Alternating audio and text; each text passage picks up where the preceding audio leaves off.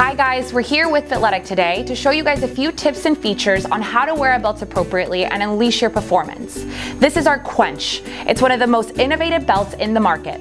All of our belts are made from premium neoprene fabric. Um, they are water resistant, however they are not waterproof. So if the belt is submerged, your essentials will be damaged. Once again, this being a hydration belt, we have um, our silicone grippers on the inside to help the belt stay low on your hips and not bounce. Once the belt is placed, keep in mind that we need the belt to sit low on your hips to eliminate the bounce. If the belt is worn up high, it's gonna ruin the intent and the design and the belt will bounce.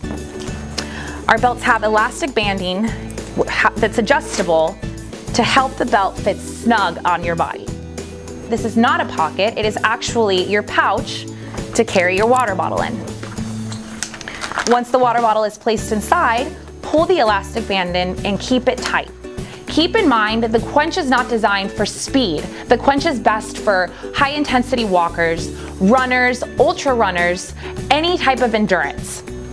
Our race toggles on this belt serve a dual purpose. It's not only great to keep your race um, bib in place, it's also designed to keep